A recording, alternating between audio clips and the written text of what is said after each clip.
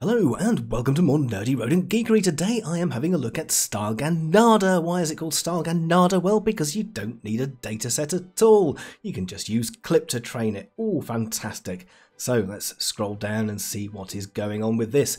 Clip guided domain adaptation of image generators. Can a generative model be trained to produce images from a specific domain guided by text prompt only without seeing any images? In other words, can an image generator be trained blindly? And the answer is yes, it can. Yes, it can. And here is a little picture. So here we've got a generator that is frozen. That's your photograph. We've got a generator here that you're training using directional clip loss, and you're turning the photograph into an anime painting. Excellent stuff. Excellent stuff. Now, there is, of course, a Google Colab there. So if you want to open up that Google Colab, pop into the Google Colab, click play on everything. You will want to change some of these settings here, like the photo and the sketch, and you, you can pick a few different models, FFHQ, cat, dog, church, you know, all the standard StyleGAN stuff. So, yep, there's the uh, the Colab notebook ready to go, ready to play with if you want to. I am running it locally, of course, because, well, that's that's just the sort of person I am.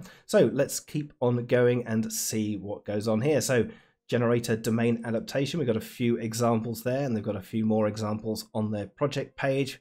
As you can see there, we've got people converted into drawings and Mona Lisa style things and some bears and some new cars seem to be converted into old cars there. And right, okay, so let's have a look at the setup. Right, so we've got the uh, official implementation of Clip and the Rosinality PyTorch implementation of StyleGAN 2. So that's the one before StyleGAN 2 ADA. Right, but at least it is in PyTorch, at least.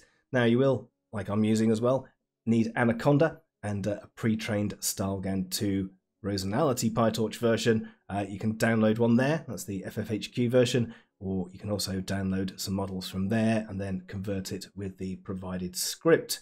Uh, you can also convert the StyleGAN 2 ADA PyTorch ones uh, with a, another script over here, digging into the uh, the issues there. You can see issue number 206, and uh, Derek Schultz has written there. Justin Pinkney wrote one that works for 1024 and 512, and there's a little link there. Export weights, and that works quite nicely. I'll sort of dig into that in a little bit. But uh, first of all, you will, of course, want to set up your new environment. Now, I happen to be using an old environment anyway, my old StyleGAN 2 ADA PyTorch. This one works quite nicely. I already have Clip installed with it anyway because I've been using Style Clip and things like that. But uh, if you want to set one up from scratch, there it is, Conda create minus minus name, whatever you want to call it. For example, StyleGAN NADA.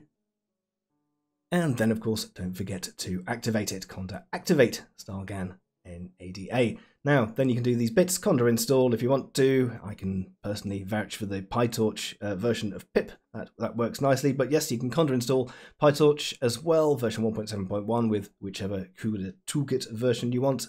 I am using CUDA Toolkit 11. There's a couple more things to install in pip, including the OpenAI bit. So there you go. That's pretty much exactly the same as you got there. You can just copy pasta that, change your CUDA version, and you have got your environment set up and ready to go.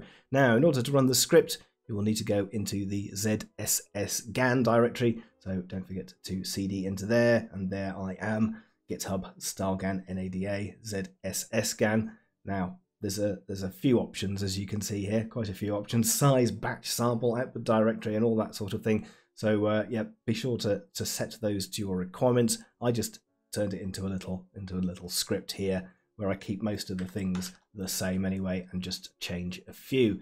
Now, size 1024, batch 8, you can go quite high on the batch. I got up to batch size 16, and that was using uh, 22 gig with a size there of 1024. Sample, the number of samples you want it to generate. So it generates a number of images for you and uh, how often you want it to generate those. Then uh, iterations, of course, how long do you want it to run for? A little bit of a learning rate. If you want to save a checkpoint, same as saving the images, I set mine nice and high because it generates quite large checkpoints, 350 meg. So uh, yeah, I, I, tend to uh, just test first before I do any checkpoints to see if the images come out all right.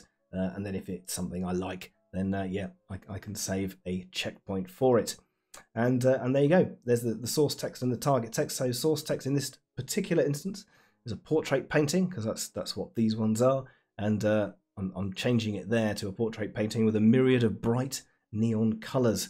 And my output there is the output directory. So I've got a whole bunch of different outputs. I'll show you what they all look like. So there you go, pretty simple.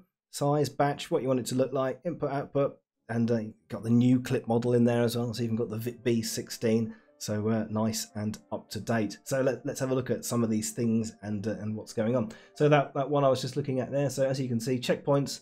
I haven't got any because I don't I don't want to save that big file. And uh, you've got the args there in the JSON format. So as you can see there, that's the uh, all the arguments you use to create that. So if you're you're not sure how you created it in the in the past, then look at the arguments there and you can see. So here we go, the samples. So 000 is always the uh, the first one. So this is the the unmodified portraits. So that's what they look like to start with. And then after 50, 50 iterations, as you can see, they are starting to get their bright neon colors all the way up to the last one there 300 so yeah that that works that works quite nicely. And uh, you can you can do lots of other things as well. So there's the cartoon. There we go. There's a cartoon. Started off with four. Now the, the cartoon one i thought was quite weird. The the eyes. It likes doing things with the eyes there. So the same sort of thing, you go all the way up to 300. And uh, yeah, so you can see sometimes the uh, the lower iterations are a little bit little bit better. I prefer the 50 there to the uh, to the 300, I think. But those those also look quite peculiar.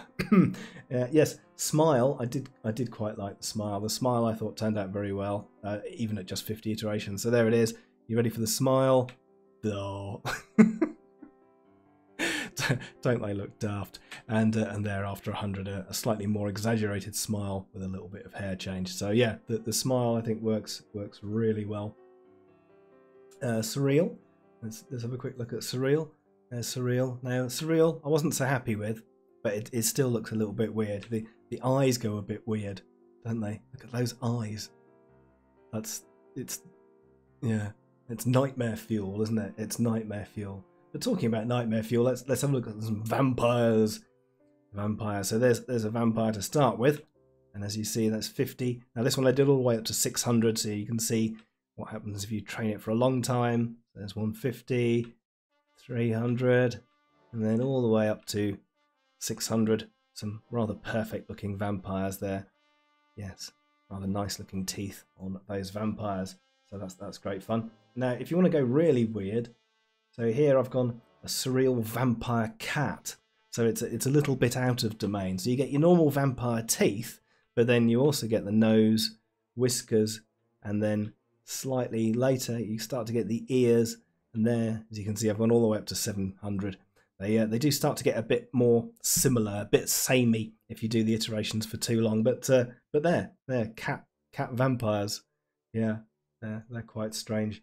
And uh, what you can't you can't have a, a, a vampire without a werewolf, can you? So there's there's the werewolf version as well. There's uh, 50 iterations, and uh, as that one goes along, it becomes more and more werewolf-like. So there you go, 400 iterations of werewolf. Mmm, nice, nice. right, so if you uh, if you do want to change your StyleGAN 2 ADA PyTorch networks, so the, the slightly more modern ones, uh, then there is a little script in there. So there you go. So you can convert this one. Justin Pinkney wrote the script, export weights. You can run that. That will convert it. But it does only seem to work with 1024 size pickles, unfortunately. I tried converting a 512 pickle with that script. And uh, while it worked in Rosinality, I could generate images from it in the 512 size.